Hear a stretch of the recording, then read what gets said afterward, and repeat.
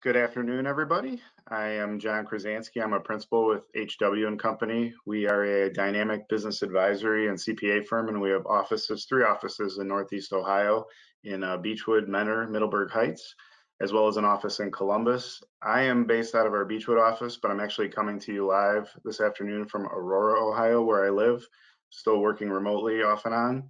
And uh, that's not to be confused with Aurora, Colorado or Aurora, Illinois from Wayne's World. This may not be party time, but I assure you this will be excellent for those of you that remember Wayne's World. Um, but we're here today um, in conjunction with Team NEO to discuss the state of manufacturing in Northeast Ohio 2021. So I'd like to welcome everybody. Um, appreciate you taking the time out of your busy schedules. Hopefully you've had a chance to uh, grab lunch and you know, we'll make sure to uh, keep you awake for the next 90 minutes as, as we have a pretty good agenda put together for today. Um, a lot of information to cover, so I won't belabor that. But just to talk a little bit more about our manufacturing advisory group within HW and Company, we have a group of individuals that regularly work with manufacturers, and I'm co-lead along with Cheryl Lanise, who will also be presenting today. And we provide business consulting, uh, to manufacturers relative to cost analysis, internal control reviews, tax planning and strategies, as well as your um, typical CPA services on the accounting and assurance side. We also offer business valuation, um, fraud forensic and litigation support to our manufacturing clients. And some of the ways that we you know, stay on top of things is being a member of various organizations, including manufacturing CPAs, which is actually a national network of accounting firms that provide services to manufacturers. So from that, we're able to benefit our clients since we routinely network with accounting firms throughout the United States, and therefore we can bring a national perspective on issues to our local clients. And then locally, we're a member of Manufacturing Works, and they're focused on supporting manufacturers in, in greater Cleveland and Northeast Ohio. On the screen right now is uh, the presenters, so you can put some faces with the names today. And as we, we're gonna go through the presentation, there's also handouts that are in your control panel. So within there, um, you'll have a PDF of the presentation. There's some additional information about us, and um, we'll talk about some of that too as we continue on through the, the presentation. Um, Phyllis, if you could switch to the agenda, thank you. So just to kind of go through our agenda, this is, um, you know, what we want to cover with you today. Jacob Duritsky, who's the VP of Strategy and Research at Team NEO, um, he's going to talk about the research overview. We Team NEO provided us with research um, relative to manufacturing and the impact of COVID, and kind of looking at the uh, the past, present, and future. And so Jacob is going to touch on that on a more higher level, and then we're going to go through some specific areas of the research um, relative. I'll be covering the manufacturing productivity, and then Kim um, Zagar, who is our uh, Director of Entrepreneurial Services, she'll be touching on the impact of COVID-19 on employment, and then Cheryl Lanise will touch on the employment outlook, you know, after in manufacturing, not only taking into account COVID-19, but just the manufacturing environment in general. And then we'll tie everything together with the technology piece where Kim will come back on and discuss a little bit about Industry 4.0 and then we have a life, real life example with Michael Delis from Fastener Tool, who's going to look at a case study of how they're utilizing technology within their business. So just a little bit of housekeeping before we uh, get into the, the meat and potatoes of everything. But um, for those of you that want CPE or need CPE, there are um, CPA, CPE requirements. It's 1.8 hours of uh, specialized knowledge. And so you'll see polling questions that'll pop up about once every 15 minutes. And so you want to make sure to answer those polling questions to get credit. And, and just a reminder, you need to be out of full screen mode because oftentimes you can see the question if you're in full screen mode, but you're not going to be able to answer the question. And then um, speaking of questions, if anybody has questions during this presentation, feel free to put them in the, uh, the chat box. If we have time at the end, we'll go through questions. We have a pretty full agenda, so I'm not sure we'll get to that point, but at a minimum, we will follow up with everyone individually that has posted a question that wasn't addressed um, during this presentation. And be sure to follow us on HWCO, www.hwco.com. We've got a COVID-19 resource center there. You can also sign up um, to receive emails from us on a variety of different topics. And be sure to follow us on uh, LinkedIn and Facebook. And lastly, this webinar is being recorded. Um, so if you have to drop off for whatever reason, you can go back and um, you know catch up on it and watch the rest of it. or if you really like what you hear today and you want to share it with someone, you can point them in that direction. Um, but to get the CPE, it's only you can only answer the questions during this live session today. And with that, I'm going to turn it over to uh, Jacob, the VP of Strategy and Research at Team Neo, is going to touch on the research in general. So, Jacob, you have the floor. John, thanks so much. Really mm-hmm. appreciate it. Good afternoon, everyone. Uh, really appreciate a little time with our partners from HW and Company to share with you some of the trends we're seeing in manufacturing and how we think now headed into 2021 the overall economy, but manufacturing specifically, uh, might be impacted in, in, the wake of the pandemic. Um, so look forward to chatting with you for the next 15 minutes or so. Um, Phyllis, if you can hit the next slide for me. Uh, before we dig into the data, uh, just wanted to give folks here who might not be familiar with our organization an overview of what we do. Team NEO is a regional economic development group. We represent 18 counties in Northeast Ohio Think about the primary markets of Cleveland, Akron, Canton, Youngstown. We're 4 million people, 2 million workers, almost a $250 billion economy, makes us collectively about the 15th largest economic unit in the country. Um, and we really are concerned with helping companies in Northeast Ohio grow. How do we help create jobs? How do we drive strategies to make Northeast Ohio's economy more competitive? Uh, I won't hit each of them in detail, but if you see those five bubbles there, uh, the things we're really focused on doing, strengthening a better network. There are a lot of economic development, workforce development practitioners. How do we bring that together in a coordinated way? How do we think about advancing technology adoption? We'll get into some of that today as it relates to Industry 4.0. How do we address the talent supply demand gap? Absolutely, manufacturing talent is one of the key shortages we see in the region. So that's even more impactful to what we're trying to do. How do we grow a pipeline of competitive sites? Again, back to manufacturing. How do we think about that industrial inventory of properties that we have? And then how do we take all that we're doing as a region, as communities, and really promote that throughout the country, throughout the world to help shine light on Northeast Ohio and the assets we have there. So at a high level, um, that's what we do day to day. And my role in that is trying to develop good strategies that are informed by research that help us go out and be more effective in calling on companies. You get the next slide for me. So today uh, we're going to talk about the COVID-19 impact on manufacturing. Uh, you'll see a brief overview of the things I'm going to cover. One, just to give you some historical perspective really quickly, 50 years of Northeast Ohio manufacturing in three or four charts. Uh, second, the impact of COVID-19 on Northeast Ohio in 2020 and 21. And then sort of early on, what we're seeing, very broadly speaking, is some of the winners and losers coming out of the pandemic in the next 12 to 18 months. Um, you can advance to the next slide. Some assumptions underlying the analysis. I don't want to dig too deep into this. You can go back and read it.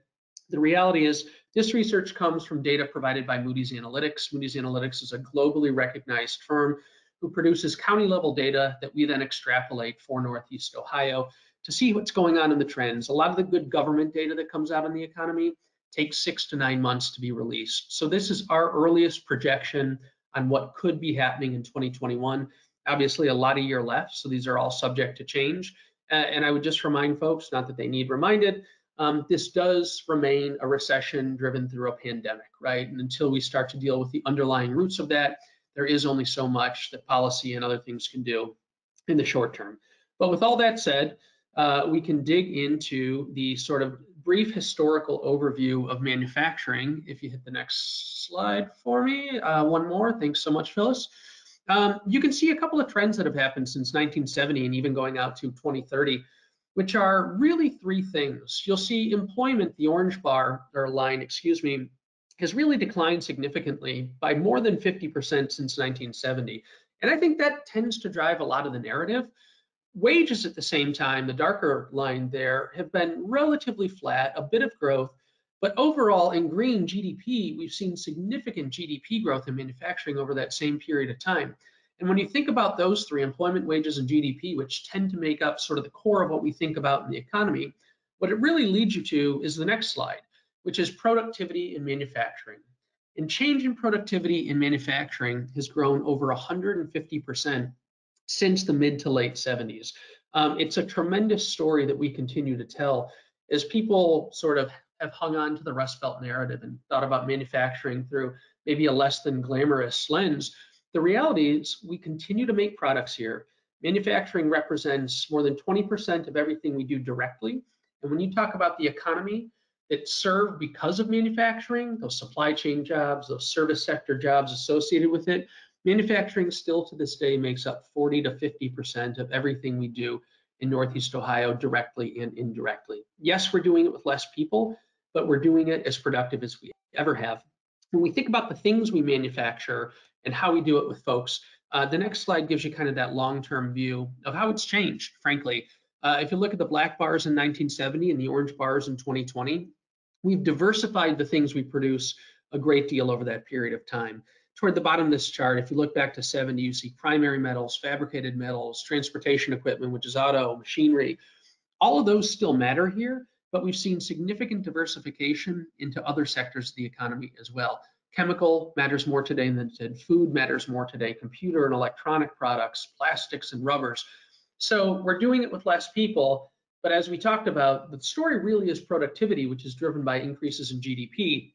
So you see the declines here, but here's what you see growth in a lot of sectors throughout Northeast Ohio's GDP by manufacturing. So again, toward the bottom, you see your primary metals and your fabricated metals. Yes, we do less of that directly today, but chemicals has net gains. Food manufacturing has net gains. Even things like petroleum and coal products have net increases in the overall economy. So to reiterate, manufacturing has not died. The Rust Belt moniker does not apply in many instances because manufacturing still truly matters to what we do here. And frankly, it's going to matter as much as it ever has looking out over the next five to 10 years.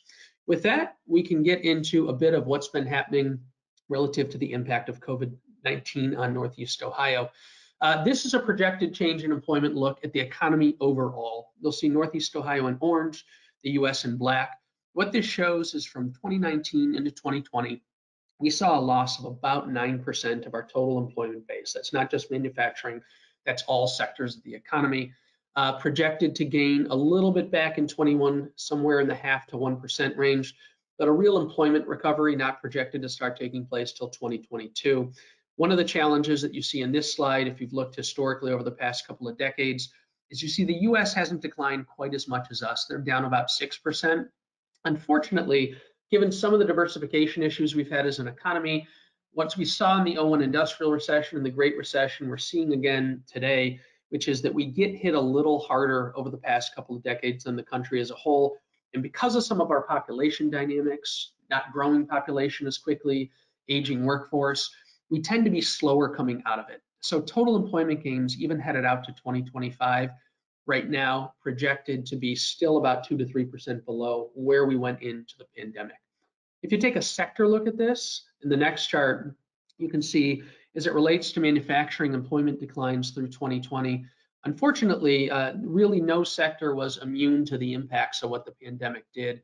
Um, all sectors did see some declines that went from things like fabricated metal, primary metal, electrical and equipment components from you know, the four to eight percent range to much smaller declines in sectors like food manufacturing, for instance, and certain sectors of machinery manufacturing. And this wasn't necessarily uniform. As we'll see when we talk winners and losers, there are sectors that have seen gains in manufacturing, but it hasn't been across the board. And the net decline is what we see here. Uh, next, we'll take a quick look at what we see from a jobs perspective throughout the entire economy heading into 2021.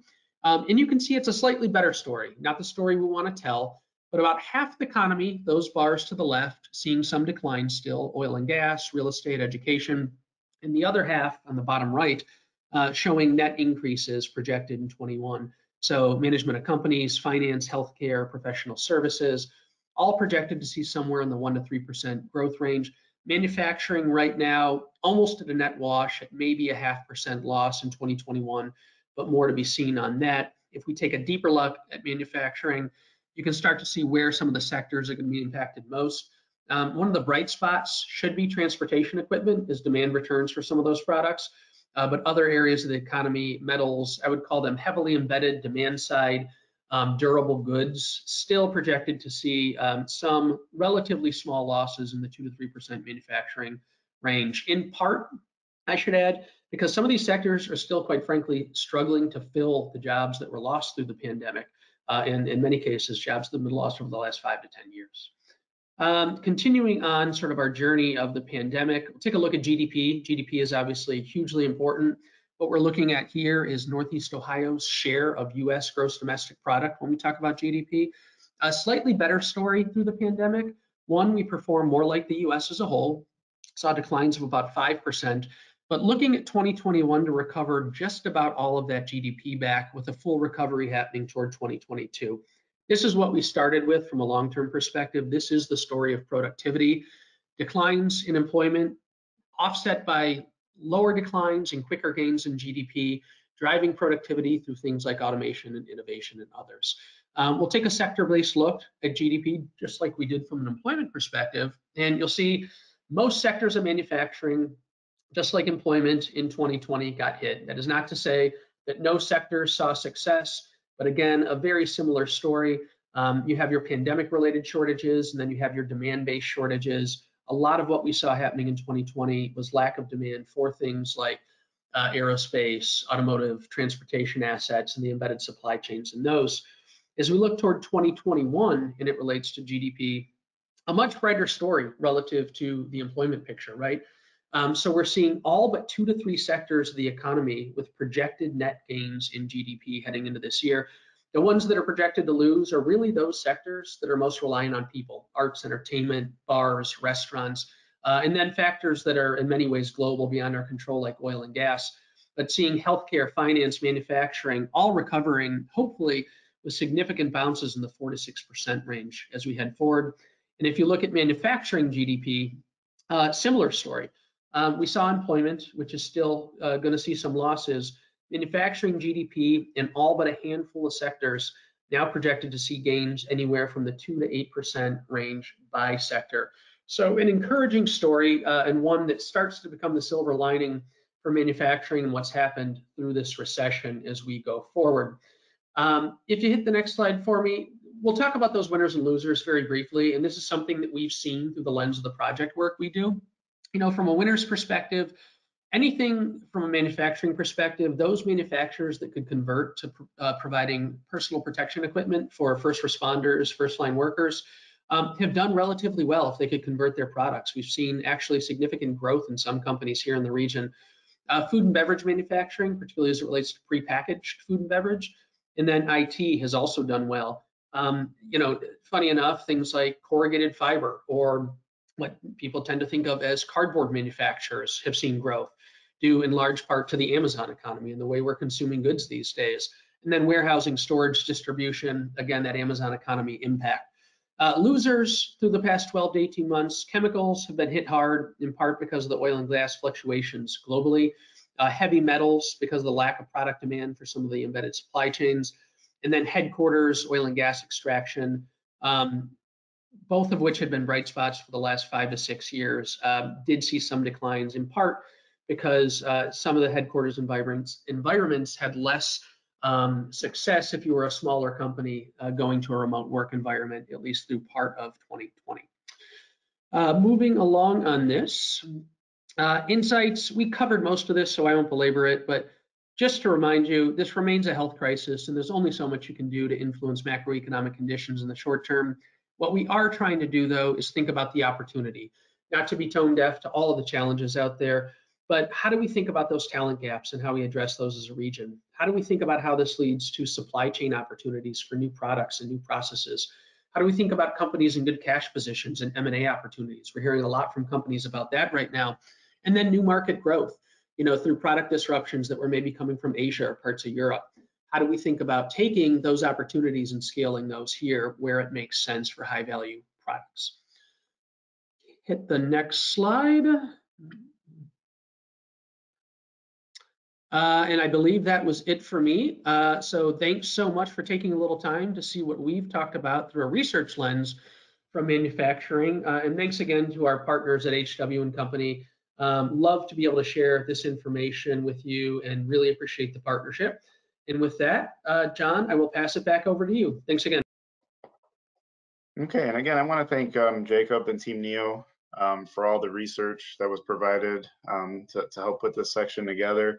And Jacob touched on a lot of different things in his presentation. And so throughout the rest of this, until we get to our case study in the end, um, myself, Cheryl, and Kim are going to kind of expand a little bit on some of the narrative that, that Jacob had.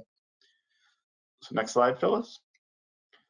So this was not the exact slide that um, Jacob had in his section. Jacob's um, section actually had it projecting out then all the way out to 2030. But I think what's important to look at here is, you know, despite employment declines, we're seeing increases in manufacturing productivity here in Northeast Ohio. And the one reason that, you know, sometimes people will say, well, I didn't realize that we're still producing as more than, or we're actually producing more than ever with less people. And the reason that is, is because whenever there's job loss, that's usually highlighted in the media. You know, you hear about that more, jobs are down, you know, that sort of thing. So really to better understand, well, how is this happening? How are we producing more with less people? That's really what I want to talk with you about today. And you know, the Rust Belt narrative, as Jacob mentioned, has driven a lot of the conversation around Midwest manufacturing. And just to kind of backtrack and talk about the past for a minute and remind everyone what the Rust Belt was, you know, in the Midwest here, we're called the Rust Belt now, but at one point in time, it was a booming area um, for manufacturing. And a lot of that came about in the 1800s. You had the Great Lakes here, which was a great way to connect all these various cities and, and to move products on the water to various places. And really that started a big boom in the area and so economically things were going really well. But what happened was in, by the time you got to about the 1960s and 1970s you started to see higher unemployment and loss of workers in this area and that's when it started to become known as the rust belt and really the rust belt's not a swear word you wouldn't punish your eight-year-old for saying it but it is derogatory and it does have some negative connotations and realistically was popularized by politicians and in, in some cases the media um, so we're trying to move past that and we're trying to understand, well, why did that happen and how do we avoid that in the future? And really, it happened because of a few things. Number one, you had aging factories. You had an area where, that was robust at one point in time, but now those factories are older. And in some cases, they're 100 years old, right? And equipment back then was built to last. And even now, you walk through, you know, some manufacturers, and you're seeing older equipment, equipment that was made in World War II that's still being used today. But back then, you know, some of the equipment, even though it was made really well, was 100 years old. So also too, the, the businesses that were around here, they saw opportunity elsewhere. The wages were a little bit higher in the Midwest because the area was doing so well. So companies, manufacturing companies were looking to relocate elsewhere down either to foreign countries or even to just the southern states, which was called the Sun Belt and still is to this day, where generally costs at that time and wages were still lower. So that created this whole big economic change in our area. But over time, we've started to rebound and we're rebounding because we're start companies in, in general in this industry are really starting to embrace technology and change. And that's really going to be a big point of discussion as we move through the rest of our slides today. Next slide, Phyllis. So as we're as factories are rebounding, as manufacturing continues to grow here, how are they doing that? And the big measure of that is the productivity, as, as Jacob mentioned, which is really based on GDP, and it's the ratio of the output to input in production. And productivity is actually one of the primary drivers of success in a business. I mean, do you think that without productivity, you could be successful as a business? Maybe sometimes by dumb luck in the beginning, but ultimately you're not going to survive that way over time. So you really want to focus on your productivity to be able to be successful as a business. And we've gotten to the point now where we're producing more with less labor. And why is that? And the reason that is, is we've become more efficient right? Manufacturers have become more efficient, and they're doing so by buying new machinery that's uh, more technologically advanced, continuing to look at process improvements, and really focusing on the people. And the people really make a difference. And one thing I do want to point out is even though employment has been down, and Cheryl's going to talk about employment in general and manufacturing, even though employment's down, the people are still very important because without the people, you're still not able to really produce the product that, that you have as a manufacturer. We're utilizing technology and we're utilizing it well to be efficient and to have higher productivity, but it's really still the people that make a difference. And really, the best way to look at this is to try to somehow harmonize your efficiency with your productivity. Because if you think about it, the more efficient you can become, the higher your productivity will be. And if your productivity is higher and there's a demand for your product, that's going to ultimately result in higher higher revenues, higher sales. And once you have those higher revenues, you can continue to reinvest into your business, continuing to get even more advanced technology, maybe growing, maybe you outgrow your space then and you need a second location. And so it really starts though at the ground floor with this productivity and, and with the efficiency, right? So next slide, Phyllis. And you know, one of the things that I touched on with efficiency is really looking at the technology and how to leverage it and become more efficient. And Kim Zagar is going to talk more in detail about some of these items I have on this slide.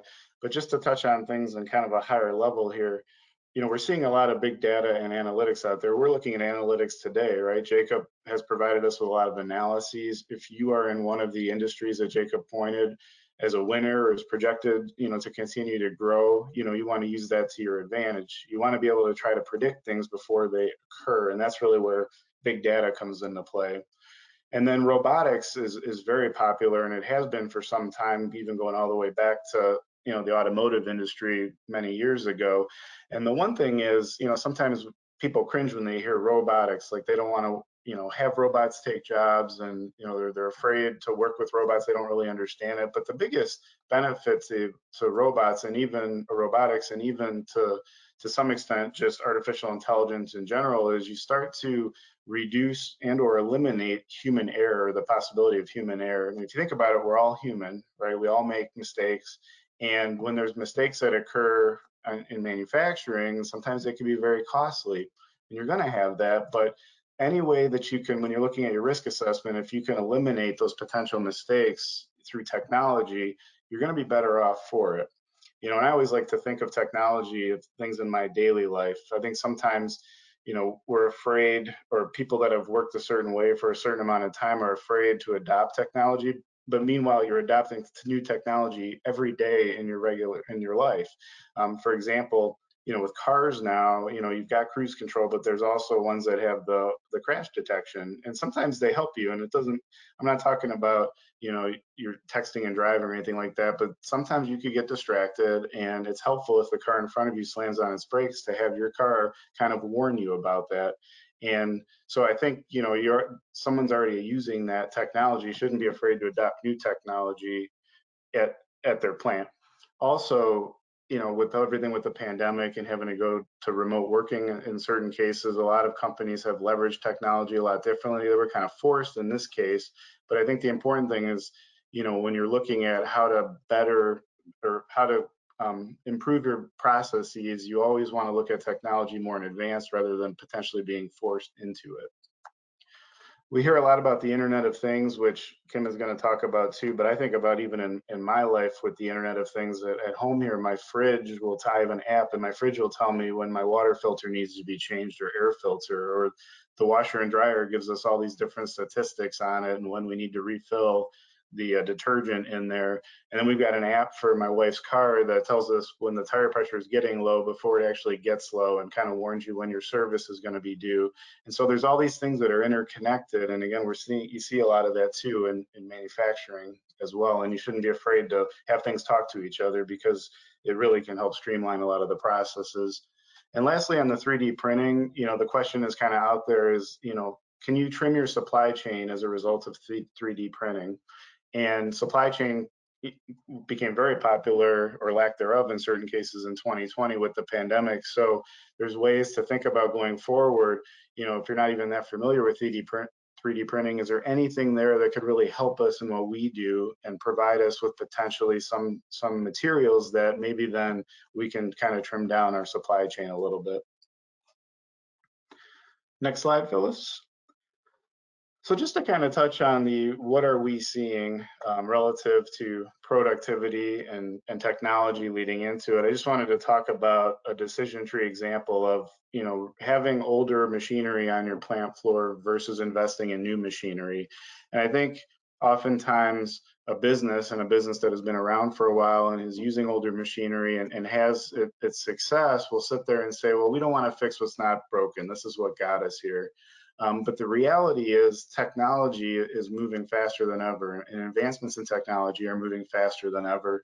And so it's getting to the point where if you don't invest in new technology, there is going to be a point where you're just not going to be able to keep up, or it's going to be so costly to catch up that you're just going to be too far behind.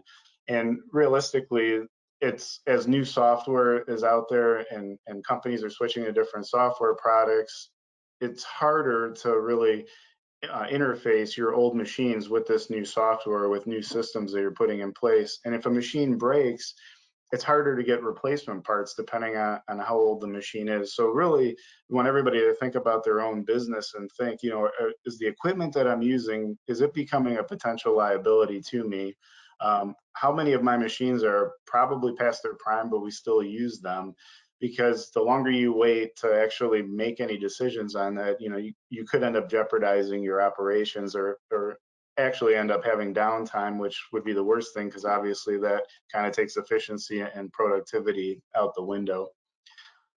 So I think with the and then with the factory of the future, oh, can you go back um, one more? I just want to talk about the factory of the future to, to close out my section before the polling question. But you know, everyone has their own idea of what the factory of the future uh, will look like as more and more technology comes out there's differing views on, you know, will people still play a part in this or not? Um, one of my favorite quotes was from Warren G. Bennis years ago, where he says the factory of the future will have two employees, a man and a dog. The man will be there to feed the dog, and the dog will be there to keep the man from touching the equipment. So his view is that machines are going to take over, and you really just need one person there and the dog to remind him not to touch the equipment. Meaning, you really don't need anybody there. Um, but the reality is, there are there are views that you know there are fields out there where machines aren't going to be able to surpass people you know what what artificial intelligence and technology though should do is it should help us remove a lot of the repetitive and boring work which is really where a lot of the mistakes are made so i like to look at it that way where i think technology can help us and I think too, as we invest in people, and Cheryl's going to talk on that a little bit, that's really the key of it too, because if you have people working with artificial intelligence, I think you get to an optimal point with your productivity there. And equipment itself depreciates over time, but really people as they grow, they're actually an asset. They actually appreciate. Our knowledge appreciates every day. So we should be in, investing in, in, people as much as we can to work with the technology that's there. So that's how I envision the factory of the future. Um, so continue kind of segueing from my uh, people discussion at the end of my section, Kim is going to come on now and talk about the uh, COVID-19 projected impact on manufacturing employment. So the floor is yours, Kim. Thanks, John. Um, so I saw an interesting quote recently, and it talked about COVID-19 being the great accelerant, forcing dramatic changes across just about every segment of our economy and society, some being temporary, some being permanent. And I think that kind of encompasses what probably all of us are seeing and all of us are feeling, um, regardless of whether you're in manufacturing or any other aspect of society. Um, but I think everybody will agree that some impact of your life or your business has been impacted in some way. So next slide, Phyllis. Looking at the numbers, if you look at this, Ohio had added 11,500 manufacturing jobs from 2017 to 2020. Then COVID hit and we had a decrease of almost 100,000 job, manufacturing jobs in just a matter of a few months. Um, this was a combination of a few factors, right sizing of a workforce, and that's just when companies were looking at their ability to financially sustain COVID and all of that uncertainty tied with it um, decreased demands for obviously a variety of reasons, whether it was consumer demand or just supply chain issues, and obviously the business closures and limitations. Um, by August of 2020, we had regained almost 60,000 of those jobs, but it continues to go up and down a little bit. Next slide. So if you look at this, Team NEO did this research, Jacob presented this a little bit earlier, and you can see some areas were hit harder than others. Um, we'll see on the next slide some of the reasons, but if you look, printing and related support, you know, was one of our biggest hits. Non-metallic mineral products, furniture and related product manufacturing, and then fabricated and primary metal manufacturing were kind of some of the hardest hit subsectors. Um, next slide. So again, Team NEO presented this a little bit earlier and looks at some of the reasons you know, obviously PPE gear, if somebody was contributing to that, whether they were um, in the supply chain for some of those things, it's not just the actual gear itself, but a lot of companies were able to adapt to provide some of the testing and diagnostic supplies. Um, obviously, the food and beverage, a lot of restaurants were even able to adapt to going to more of a carry out and delivery service, um, in addition to grocery stores. Obviously, IT is a big thing with all of the remote workforce and just less people being in facilities. And then warehouse and storage, distribution network. And then, as Jacob mentioned, the paper and corrugated fiber manufacturers. I thought that was interesting because that was one of the areas that I didn't consider as an essential worker. But um, I had a friend that was in, they actually produced the barcodes, their company, the labels for things. And you wouldn't have considered that to be an essential part of the supply chain until you realize that none of this stuff can go out without its labels and barcodes, which takes care of the whole supply chain and monitoring everything. So there was kind of, I think we all saw some interesting companies that were considered essential workers and we realized what we could and could not live without.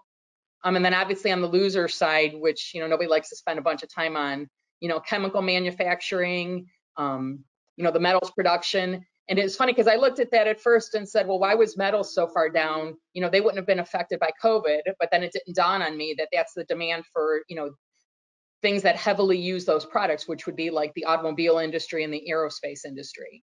Um, and then obviously the chemical manufacturing was just a demand shortage. And then, you know, oil and gas and headquarters. Um, next slide. So when we look at what the projected employment recovery is, you look at this slide and the second line there is Northeast Ohio. So you see it lags a little bit behind the rest of the US and it es it's estimated that it could take until 2025 for manufacturing employment in Northeast Ohio to recover. But as you're gonna see, the numbers don't tell the whole story from the employment side because of the fact, as Jacob mentioned, and I think John highlighted a little bit, we're still doing more with less people. So just a decline in employment doesn't drive the whole recovery because we are doing more with less. And as you'll see later on, you know, automation is going to play a huge part here. So there is opportunity to make up some of those jobs elsewhere. Next slide. So this next slide from Team NEO shows the projected change in total employment in Northeast Ohio. And you're going to see here manufacturing kind of falls somewhere in the middle of that. The obviously the biggest winners are going to be, you know, the IT services and professional services. Um, healthcare obviously is a big winner. Retail has been one of the more adaptive industries where even while consumer demand might have been a little bit less, they were able to adapt to a remote workforce as well as in some cases, you know, remote buying by consumers. But at the end of the day, you're going to see the recovery is going to be dependent on several factors, which we'll see on the next slide. You'll see here kind of the biggest factors, and it's probably nothing that's earth shattering to anybody. The companies that were able to adapt to remote workforce and having a de decreased employee capacity, um, companies that were able to overcome the productivity decline due to COVID restrictions in their workplace. And some workplaces are going to see that more than others, depending on if your productivity is dependent upon, you know, a body count in a small area. Those companies had to switch to either lower production or split shifts and get their workforce to adapt. You had employee absentee issues, whether it was sickness of the employees themselves, family members, just quarantine and safety concerns. Um, difficulties in rehiring and finding new workers has been an issue for some obviously the added costs at one time you know it was mentioned oh these are extraordinary expenses i think but now everybody's finding that these are ongoing costs and it probably will never go back to exactly what it is with this highlight on safety procedures overall. Supply chain issues kind of speak for themselves and then obviously lower demand in certain subsectors. So what factors mitigate the a company's ability to adapt and overcome this Obviously, there's some luck involved. If you happen to be in an industry that was kind of um, not affected by supply chain issues or consumer demand decline, you know, you fared a little bit better as we saw in some of the other slides. But what we also were able to see in all of this is that some companies, even if they were in kind of the unlucky subsector, were able to adapt. Um, GM and Ford, if you look at them, they were able to change their production over and start manufacturing ventilators to and that accounted you know allowed them to keep people employed but it also allowed them to you know keep a revenue cycle going when the decline for cars dropped um, i read a story about how gm in a matter of four days was able to produce a 3d prototype with 3d printing to supply 50000 face masks per day the face shields that the front end workers were using. So I thought that was pretty cool and a good example of a company that was able to adapt quickly. Um, there's other examples of Boeing, for example, and some other manufacturers where they were, you know, creating surgical gowns. I mentioned the diagnostic equipment. Um, a company was able to produce 3D nasal swabs and test kits. All, all things these companies didn't do before, but they had 3D printing ability and they were able to adapt and innovate to change with the market. Um, and then again, financial stability to sustain the downturn. You'll see um, PPP funding and the CARES Act tried to assist with some of that and allowed some employers to keep their workforce employed to get through this. And then obviously workforce them, issues themselves, whether it was, again, I mentioned sickness, whether it was, you know, employee absenteeism, or just trying to figure out how to keep your employees safe in the workplace or feel safe with everything else going on. I mean, if you think of, you know, a typical manufacturing plant, if you have people on a line working close together, you know, if somebody gets exposed to COVID, that could shut down your whole shift. So there was all these issues that companies had to deal with that they didn't before. Um, and one of the interesting things that's coming out now as we look at this employment change is going to be the vaccine and whether or not companies mandate that for employees to return and how you address those situations. So there's still some challenges to come, but I think what we all learned from all of this is that the companies that were had the ability to adapt are the ones that are faring the faring the best.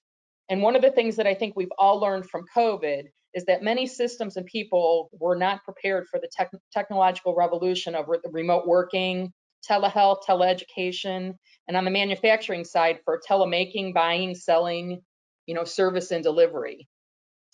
So I think it, COVID, when I talked in the beginning about it being the great accelerant, it, it also opened our eyes to a lot of areas where we had some weaknesses and also opportunities. And I think the companies and the manufacturers that are faring the best are the ones that had the ability to be flexible, adapt, and innovate. And as we're going to hear a little bit later on, technology is going to play a huge role in all of that. We have the technology ability, but it's going to be a matter of who collectively commits to making it happen and executes on those things. And again, we'll hear some more about that later. And then the final thing is, you know, we hear about the employment decline as a result of COVID. And the biggest question that I had when I, when I was looking through all this is, why didn't the COVID layoffs solve the worker shortage issue? And Cheryl's going to talk a little bit more about that. Good afternoon, everyone. So I'm going to be speaking about um, just the manufacturing labor outlook. So, you know, the research is showing us that we're going to, you know, really need a, a quite a few people, uh, quite a few replacement workers coming in the near uh, next few years. I'm going to be talking about some of the hurdles manufacturers are facing and what they're really going to need to do to overcome, you know, this labor shortage. Uh, Phyllis, next slide.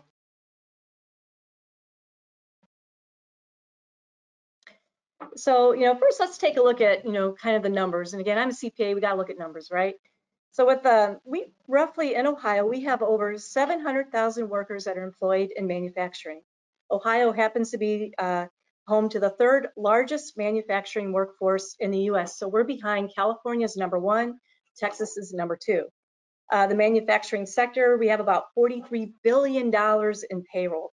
So this is the highest total amount of wages paid in Ohio for any industry sector. So that includes government and healthcare. So now, now we kind of got these numbers out of the way, let's kind of take a look at what the, you know, the labor shortage, what the causes are, and then what others are going to be doing to tackle that problem. Okay, Phyllis, next one.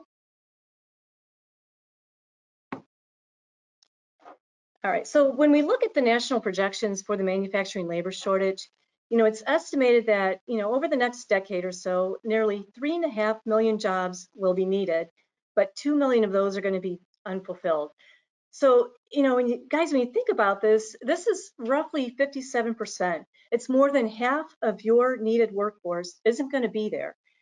Um, you know, the causes, you know, we know we have retiring baby boomers, you know, for the for the first time in the US since the late 1940s, you know, 48, 49, those people that are old enough to retire now outnumber those that are entering the workforce you know, we've got this perception of dirty jobs, you know, but manufacturing, they have the state of the art facilities. They got these modern shop floors. You know, we we have this perception though that there's still this dirty, grungy place that, you know, still exists.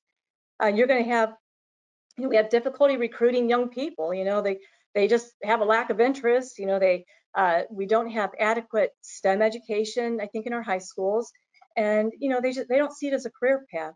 Manufacturers, you've got to do a job. You've got to learn how to sell your company to these young people.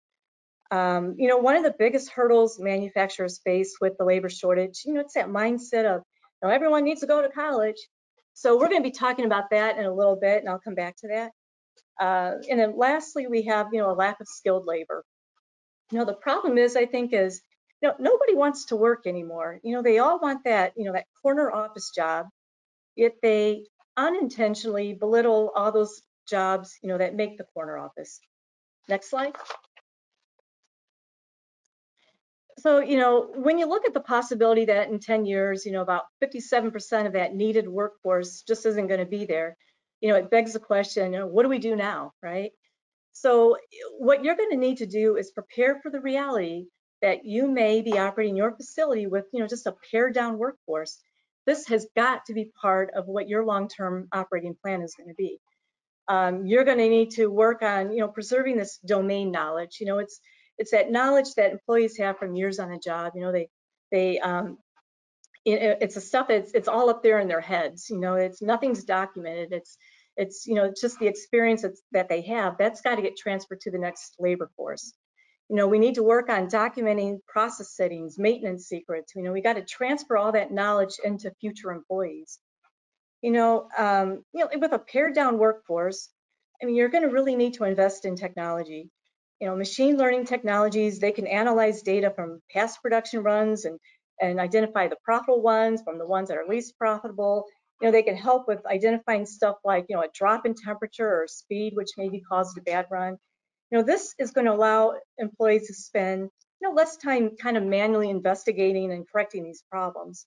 You know, with the projected reduced workforce, I mean, you've got to make it part of your plan that you're just going to have to invest in technology. So, you know, you really need to start documenting all these processes now. You'll, you'll need to be able to train those new workers, um, you know, so that you're not going back and recreating the wheel. Next slide. So manufacturing, it definitely has an image issue when it comes to, you know, people's perception about working in manufacturing. You know, people, again, they perceive it as this dirty, low paying, unskilled labor. And you know, the industry really needs to rebrand itself as, you know, it's interesting, it's stable, it's this well-paid career. You know, it's not about just being a job. This is about a career choice, guys. You know, this this is something that you want to do. You know, we've got to debunk these myths about manufacturing jobs again. You know, these aren't these aren't dirty jobs. These are jobs that, you know, they're in cool places. You got to, you know, that you're working in. It's um it's not like what grandpa used to work in. You know, it's not that dirty, gingy thing anymore you know, we've got to, you know, get the word out. These are high paying jobs. These are jobs that sustain a middle class family. You know, we, we have the use of robotics and automation. I mean, they demand high skills. You know, you, you can't be an unskilled person trying to, to use robotics and automation. We've got to get this out so that people see this as high skilled and not an unskilled labor force. Um, you know, one of the next things, you know, our next generation's workforce to, to improve them, in the US, we have got to expand our STEM education. You know, it's I don't think it's a secret that the US kind of lags behind other countries in that. You know, what you guys as manufacturers are going to need to do is work directly with high schools, trade colleges, universities. You're going to have to tell them, you know, what you need, uh, how you need them to educate your uh, your their people, your employees, your future employees coming in. You know, what vocational skills are you going to need those people to have when they graduate? You've got to be really explicit with the skills that you need and what you want in your new hires. Next slide. So, you know, you can't talk about manufacturing labor force without bringing up, you know, Mike Rowe. So he's that dirty jobs guy. You know, this guy, he's got an amazing attitude on life. And, you know, he hosts this TV show called Dirty Jobs. And uh, he's got great insight into what's wrong with today's labor force. So let me just read this quote from Mike real quick you know, our crumbling infrastructure, our widening skills gap, the disappearance of vocational education, and the stratospheric rise in college tuition. These are not problems. These are symptoms of what we value. And right now, we have to reconnect the average American with the value of a skilled workforce. Only then will the next generation aspire to do the work at hand. So, you know, look at Mike's picture uh, next to the slide, but it, you know, he cares because about manufacturing because, you know, he wouldn't have all the stuff he needs. You know, that's how we as a society, we got to think like that. You know, back in our parents and grandparents' days, this was considered to be a cool job. This was a great career. And now it's just, you know, it's viewed as this lower uh, job in society. You know, there are millions of skilled jobs that are going unfulfilled every year. Yet, you know, college graduate unemployment's at an all-time high. You know, that doesn't even make sense. Now, student loan debt, it's the second highest consumer debt in the US. There's like 44 million borrowers who owe like 1.5 trillion dollars. I mean, I can't fathom those numbers. You know, America has convinced ourselves over the past 30 years that college is the answer and everyone should go. As a society, we've just devalued the path, you know, to other non-college career choices. You know, as a result, vocational schools are kind of seen as those that are eh, not cut out for college. You know, this skills gap needs to be closed and the stigmas and the stereotypes associated with manufacturing have got to be challenged. Next slide. So um, a couple months ago, I was listening to a presentation put on by you know, the OMA, um, and you know they had people from different companies that were talking about you know what they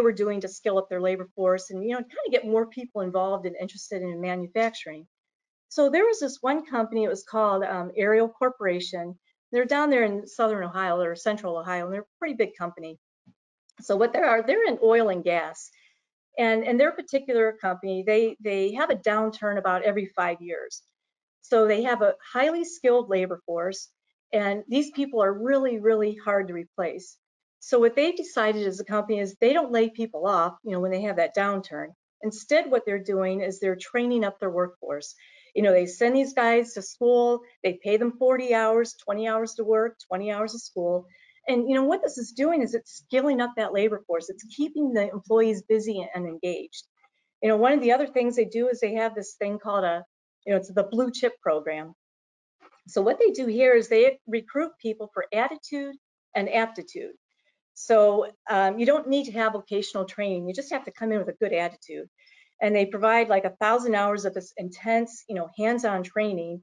And then they hire, you know, and they hire you as an employee. Um, and when you start this program, and then once finished, that employee can just go and hit that shop floor running. You don't need to apprentice with anyone. You know, you've got the training you need. So, you know, when you think about it, they're basically training employees, you know, for six months. You know, roughly what? If there's a thousand hours of training, 2,080 hours in a year, so it's like six months. And then they have, a, you know, a skilled worker ready to go. You know, these workers, they're trained the way the company wants them, you know, along with like the skills that the company needs them to have. So, you know, this is just one example of what, you know, a company is doing to help skill up the labor force. Uh, Phyllis, next slide. So um, in Lake County, and I happen to work in Lake County, you know, there the various chambers of commerce, you know, along with the, allowing, the Alliance for Working Together Foundation, they've developed a workforce initiative you know, what that helps educate Lake County students, you know, about careers in manufacturing. So, you know, one of the things that they do is they have this Think Manufacturing Career Expo. And during the expo, you know, they have, you know, there's tables lined up of all the local manufacturing companies, you know, they're discussing their career opportunities and so on. You know, they have these breakout sessions where the kids can learn interviewing skills. They talk to, you know, a manufacturer about, you know, what's it like to work in manufacturing. Um, they've had um, in years past where you know, they've kind of done like a breakout room where they have, um, you know, there's equipment in there that the manufacturers bring, and then the kids have a chance to kind of try it out and see what it's like. So, you know, this is kind of an example of what we're doing in Lake County to attract high schoolers and to help with that workforce development. But what you, you know, what the real takeaway is, it's about collaboration. You know, you're collaborating with nonprofits, area businesses, schools, you know, the chambers. I mean, it's it's you're going to have to collaborate with people in order to get that workforce developed. Next slide. So, you know, I think as parents, we tell our kids, hey, you have to go to college. You know, and kids are told this from the time they leave the womb. I think some kids are told this from the time they're still in the womb. You know, and as a society, we've convinced ourselves that, you know, the true path to happiness is a four-year degree and a lot of debt so, you know, com community colleges, trade schools, apprenticeship programs, you know, these are kind of viewed as, you know, that consolation prize if you're just not smart enough to get into college. You know, right now, societies, teachers, guidance counselors, and especially parents, You need to stop telling kids that college is the only career path. You know, if you think about it, if you can't convince the parent that there are other career paths other than college, how will you ever convince that child? How will you ever convince that child to come in and get a career into manufacturing? You know, we need to have buy-in from parents. You know, we we need to involve both parents and and their kids in career days and with all these manufacturing companies. You got to show them, you know, what a modern day facility looks like. You know, they need to understand that there's opportunities and that there's a true career path there. You know, don't limit where you look for talent. You know, you don't need brute force. You know, Dwayne Johnson doesn't need to work at your factory. You know, you can get people in there that don't have those big muscles. We have machines and stuff that do all that hard work. You know, it's jobs that were lost in COVID. You know, there's you look in retail, restaurants, hospitality. You know, there's a lot of people that are out of work. You know, the idea is hopefully trying to find those people and to get them into manufacturing. Uh, next slide. So one of the ways that Ohio is helping employers upskill their workforces through the Tech Cred program. So this program may reimburse an employer for up to $2,000 you know, per credential when a current or a prospective employee completes eligible technology-focused credentials. So what happens is the employee can, or I'm sorry, the employer, they get um, a maximum of $30,000 per funding round. And, you know, what this is doing is this is, you know, upskilling your workforce.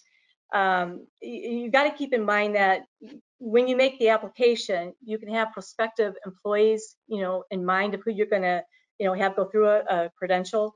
But once you actually, you know, um, apply for reimbursement, everybody's got to be a W-2 employee. Um, you know, the credentials got to be industry recognized, technology focused. It's got to be short term. It's got to be able to be completed in 12 months or, you know, 30 credit hours.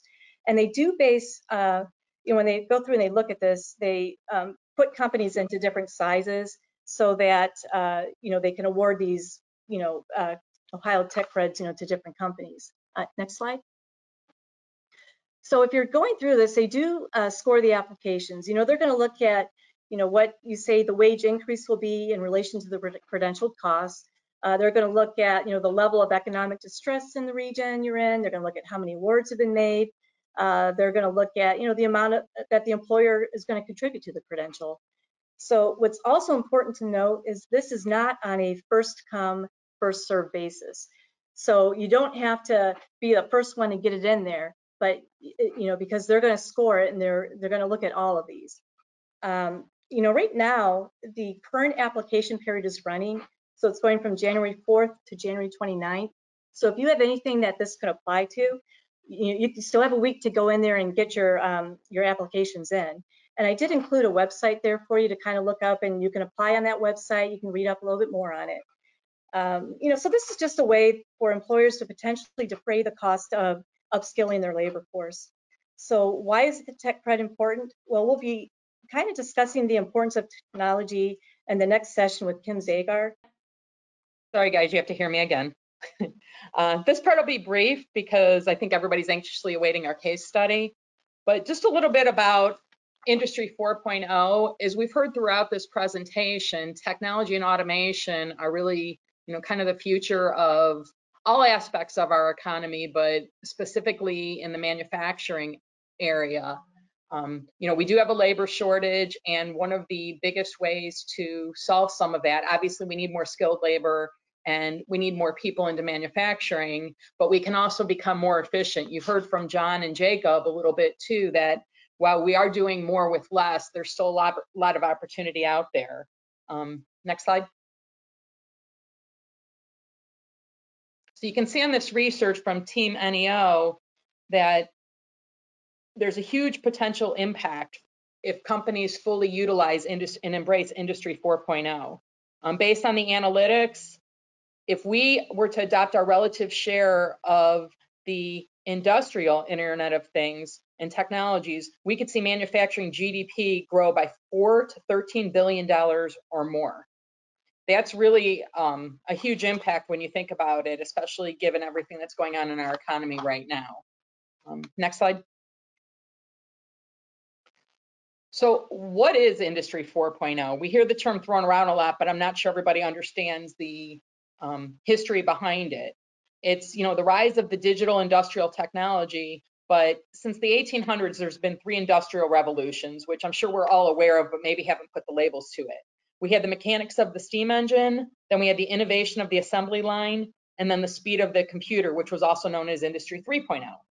Now, Industry 4.0 is taking that Industry 3.0 to the next level and kind of working with the industrial Internet of Things and connecting everything together and really kind of just moving everything into the next century. Um, one of the biggest things is a lot of people probably have, you know, the smart homes with their light bulbs and everything like that. And, you know, obviously we all take the internet for granted and how everything connects together. You know, there's blockchain technologies and all of this data and analytics out there. But it's really when all of those things work together that you kind of reach the most efficiency possible. That's, you know, connecting everything from, you know, the physical things like machinery, robotics and vehicles to the data and the analytics behind everything. It encompasses the entire supply chain from the smart manufacturing and then the warehousing and the logistics behind all that.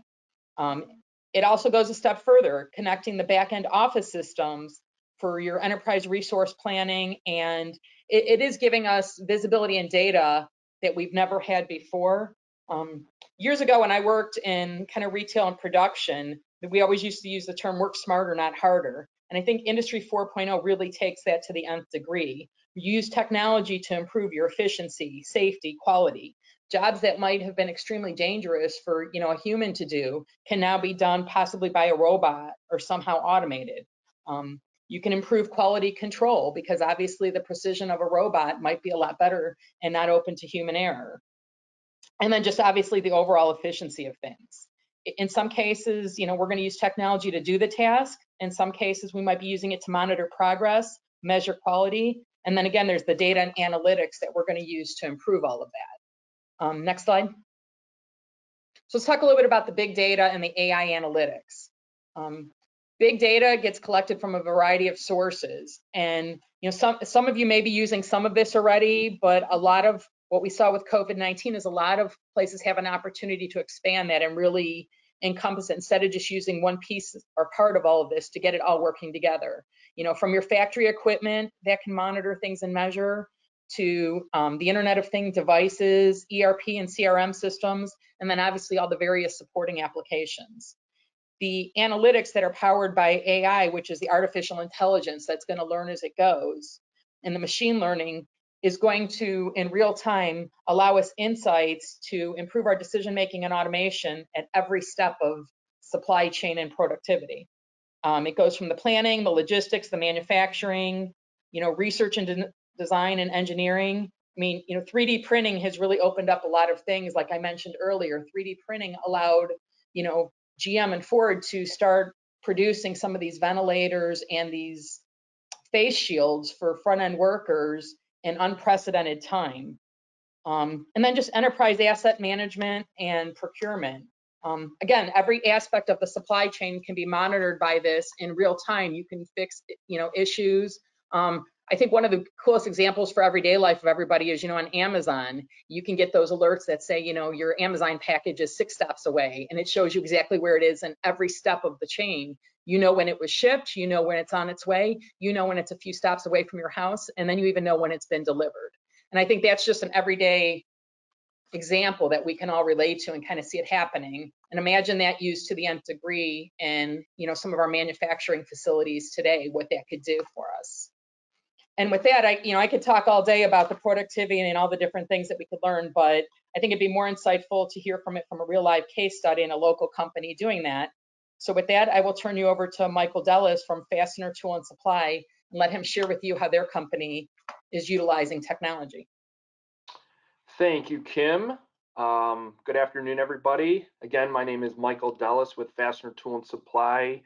We're over here in Solon, Ohio. Um, actually in Glenwillow technically, but we use the Solon uh, address. In fact, uh, our neighbors behind us, Amazon, 550,000 square foot facility, and probably right about now in five minutes, there's going to be 100 vans leaving that warehouse, uh, taking all of your products out to you guys. So um, it, it's interesting, you know, we talk about these things and some of the things Carol, uh, Cheryl and um, Kim brought up during the uh, during the past uh, two presentations here really hits home into into my life cycle here with Fastener Tool and Supply. I've been with our company since 2008. We've kind of lived through um, this journey into Industry 4.0. So we'll get started on the next slide, Phyllis. And you could forward right to the next one as well.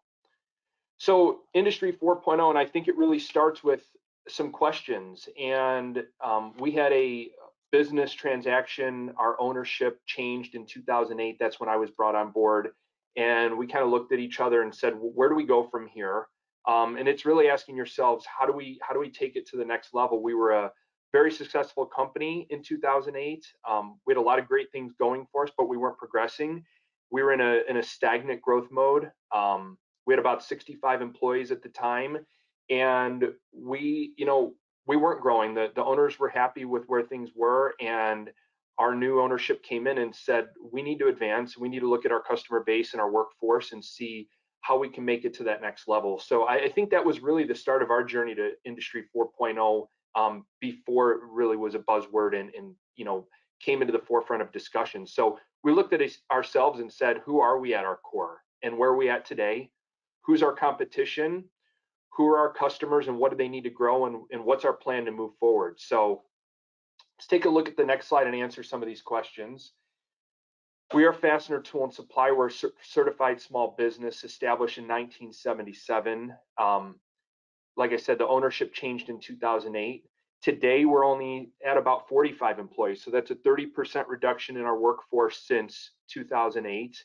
Um, that's a lot of jobs that have changed. Through this time, we, we migrated to a new ERP system in 2015. Um, we've implemented a CRM system.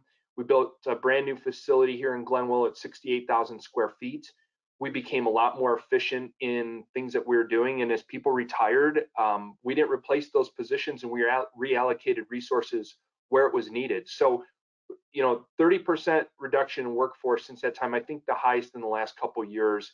Uh, we had a record year in 2018, we're up to 50 employees, but we've had some some turnover and haven't replaced some of those positions. And it's been good. We've been doing um, more with less. We've got 2,100 suppliers across the world and 1,600 customers as well. We've got 45 implant customer warehouses or vendor managed inventory programs.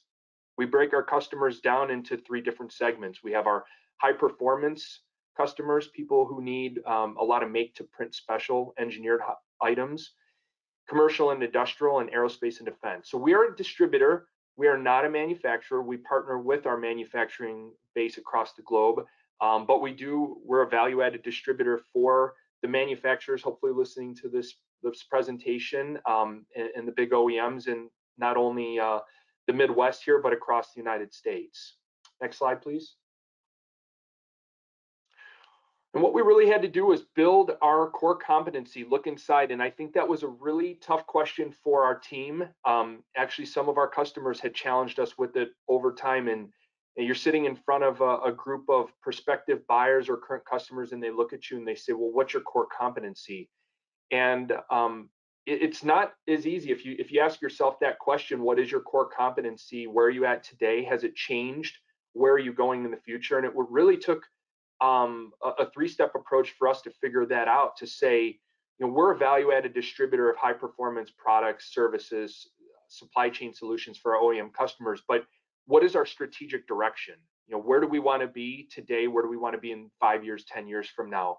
Um, what is our focus? And I think one of the big things we focused on in the last 13 years um, through our journey here is to continue to improve the customer experience, utilizing innovation and change. Um, we remove a lot of complexity from things that our customers are doing. We look for that low hanging fruit and then we continue to dig and dig and dig until we provide them a value that is unique to their own operation. I don't think there's a solution that fits um, everybody's needs, and I think uh, that's part of our goal is really understanding that customer experience through innovation and change. And our goal here is to allow our core competency to evolve. And I think if we stuck to what the core was back in 2008, we would not be here today. Um, I think the lot, you know, COVID would have probably wiped us out. We wouldn't have been able to mobilize and, and go remote with a, much of our workforce.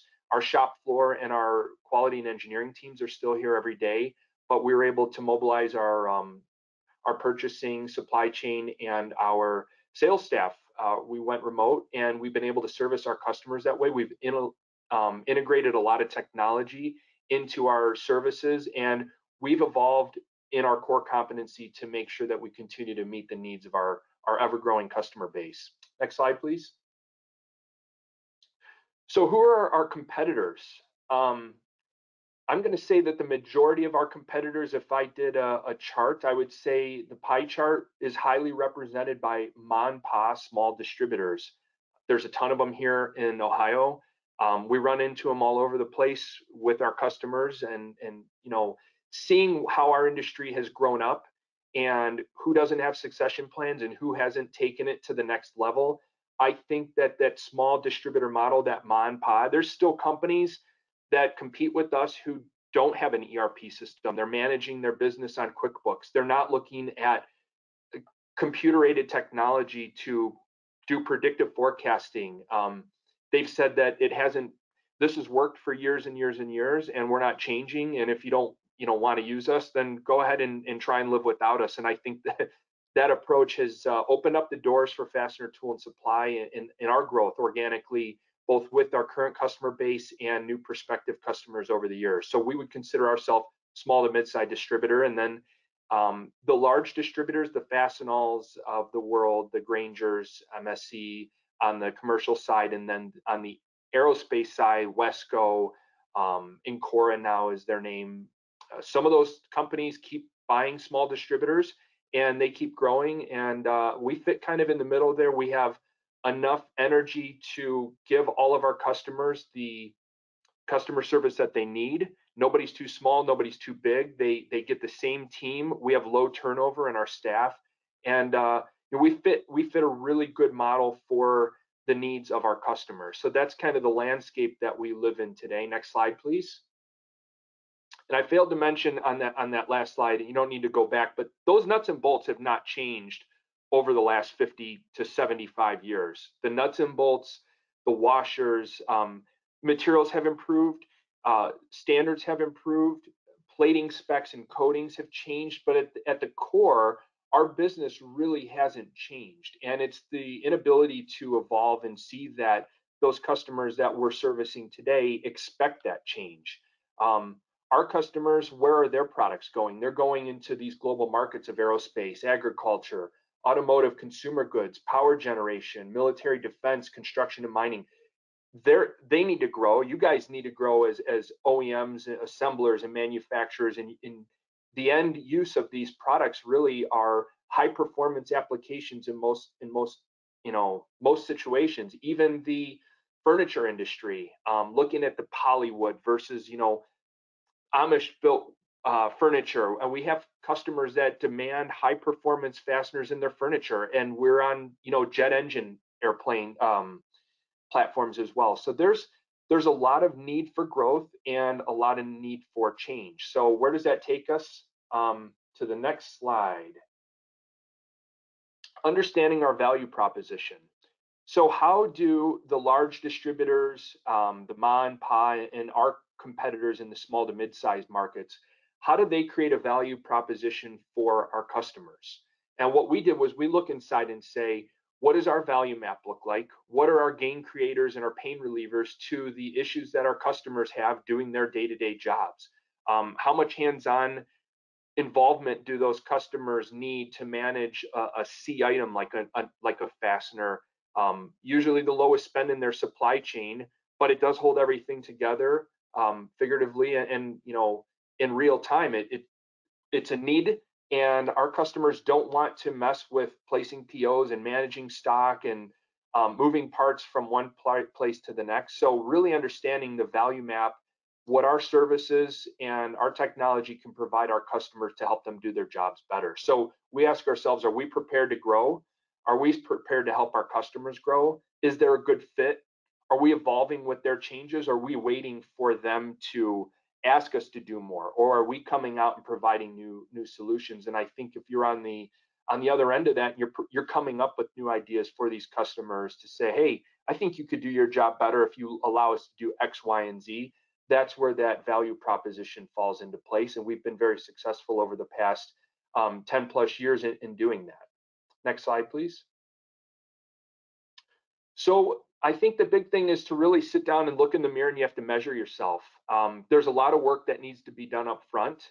You can't go direct from uh, an idea right to a solution as, as many of our customers want us to do. There is a process for that.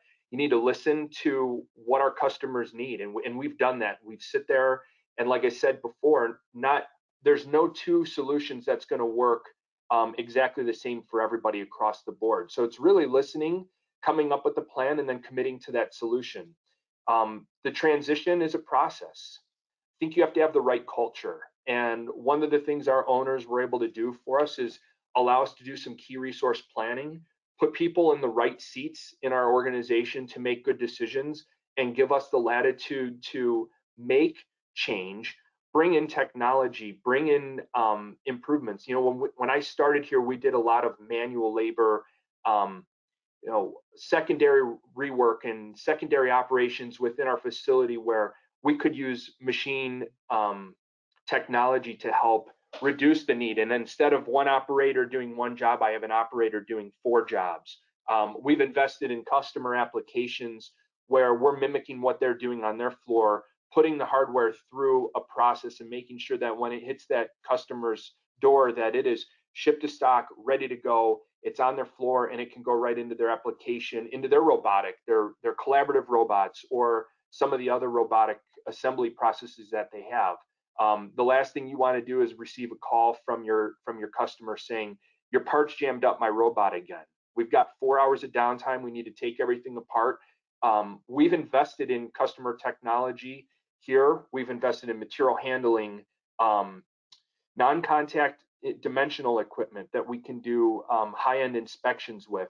We've invested in alloy analyzers. We've invested in load cell uh, testers. We've invested in bulk handling equipment um, that can do things more ergonomic and safe for our staff here. So we've been able to do a lot more with the staff that we have by making sure that we have the right strategic direction. We have the culture here who's going to embrace that type of change.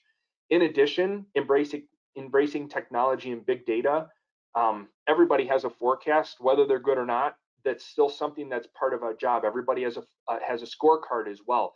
Taking all of this data, we have supplier data. Um, 2,100 suppliers we're managing for 1,600 customers, and that supply base is growing as there's supplier consolidation in our market taking all these pieces of data and really understanding what do we do with it. Um, we hired a, a team of, of a couple people here whose sole job is using that information and creating SharePoint and Microsoft Flow projects to incorporate business processes that used to be manual paperwork type of things and streamlining our own internal process for our AS 9100 system. We've also implemented automated reporting using Power BI reports that customers used to ask for on a weekly basis regarding inventory or scheduling or any other kind of planning, that stuff automatically goes out to our customers without anybody's finger on that button to hit send. Um, that's something that they want to keep them, a, a, you know, aware of what's going on with our inventory, and it really prevents a lot of stockouts.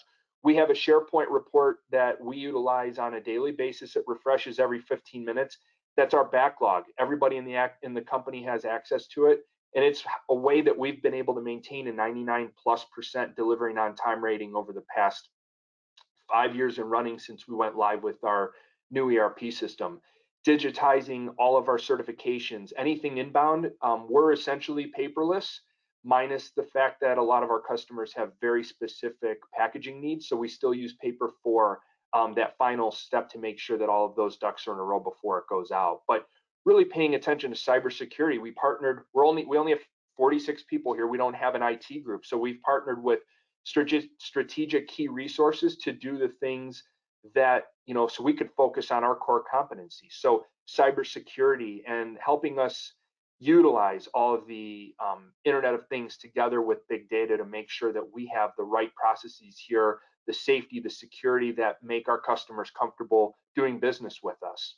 We've utilized a lot of technology tools over the past few years. We invested in technology called digital bins, which we'll see in a couple slides here, that um, is a, is a proactive versus a reactive way of managing inventory. We've invested in cloud-based solutions and mobile platforms. So really, you know, our owners didn't even know we were moving towards this industry 4.0, but we knew that our customers demanded it. Um, yes, there's a label on it with industry 4.0 or factory of the future, but it really was the embrace that we had from that day one in 2008 to really move forward. And we couldn't be where we're at without that commitment from the top down. Next slide, please. So our customers demand high performance. Um, I talked about our on-time delivery rating and our quality ratings.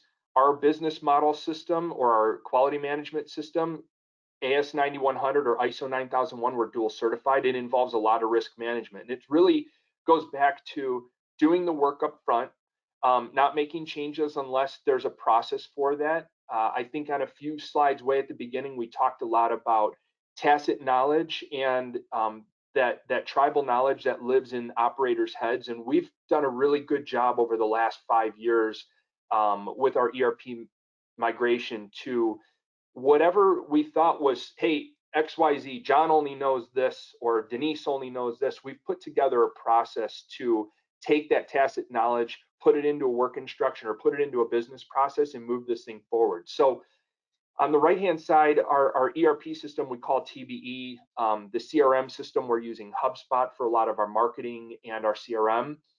Power BI is a huge part to help with the big data and the Internet of Things, and then the technology aided solutions. And all that does is provide us customer value because we're able to put a predictive forecast. We're able to predict when a customer is going to be out of parts rather than reacting to it. Um, we have plenty of, of supply in, in in our facility here or committed to our supply chain. So we're really trying to stay a step ahead of our customers.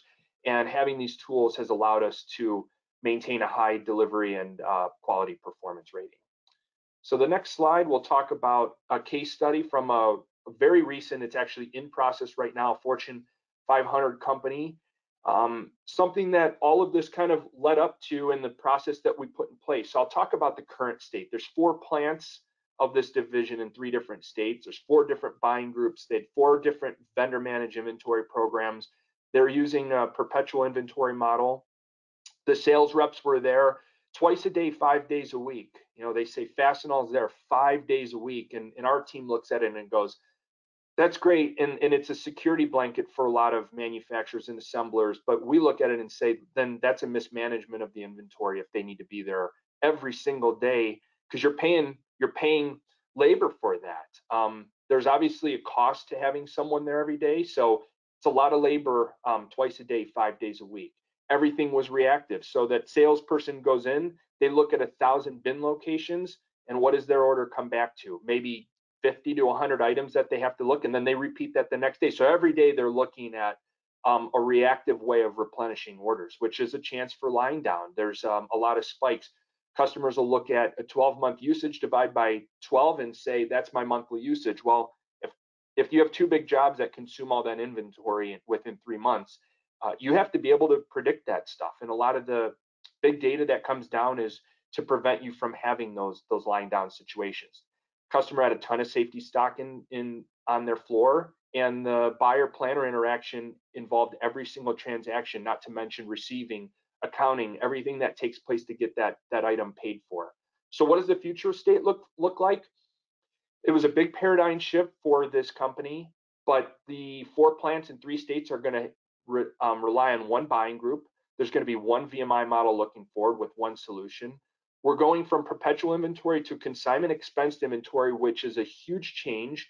Um, they're basically removing everything off of their bill of materials and saying it better be there when I need it. And our our model um, which was live in one of these plants, has shown over the past five years that they've not had a line down in five years. Uh, we're not holding excessive amounts of inventory, but it's a predictive model that is proactive in its replenishment.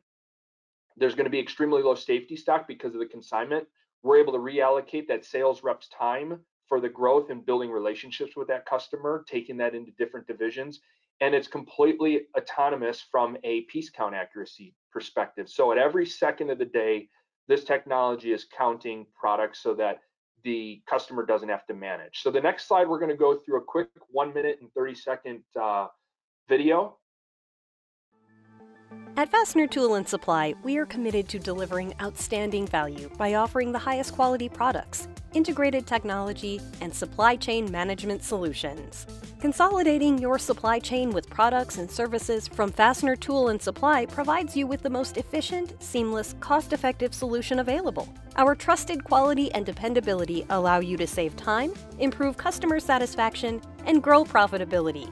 We stock inventory specific to your needs, investing in your future success. Our vendor managed inventory, or VMI programs, are rooted in technology that is custom fit for your operation, enabling you to streamline processes, mitigate risk, and improve performance.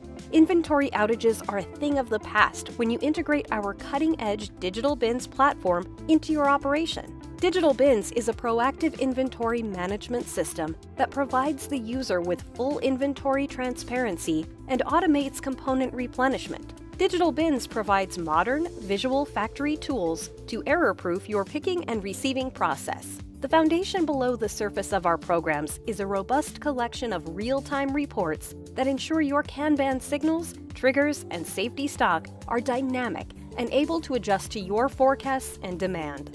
We've embraced our strong core values of respect, integrity, customer focus, innovation, and excellence to give our clients high performance, value added solutions they can rely on time and time again. Contact us today for a demo of our digital bins technology. To learn more, visit us at fastenertool.com. All right, thank you for that. Um, that does a better explanation of you know the pictures here. Uh, I know we're running short on time. I think I've already hit the 2:30 mark, so I'll uh, I'll leave it with that. Digital bins has been the solution for this customer. We've got um, 10 live customer installs right now across uh, across the Midwest here, and we're looking to expand that. So that was kind of the the cap of the our journey to Industry 4.0, and I'll turn it back over to uh, whoever's closing this meeting. Mm-hmm. Well, I do want to thank everybody for their time today. I know this was kind of a longer session, but we had a lot that we wanted to talk about. I want to thank Michael from Fastener Tool and Supply for their presentation on how they're using technology in the digital bin. Also want to thank Jacob and Team Neo for all the information they provided um, through the survey and their involvement in today's webinar. And just a reminder again, a PDF of all the slides um, is in your control panel on the right. And this webinar is going to be available on our website uh, starting tomorrow at www.hwco.com slash webinars. And with that, thank you again for everybody's time. And, uh, you know, please sign up for our mailings. Make sure, you know, make sure you're on our list. And the next time we have a, uh, a webinar that's manufacturing based, we'll make sure to invite you. Everybody take care.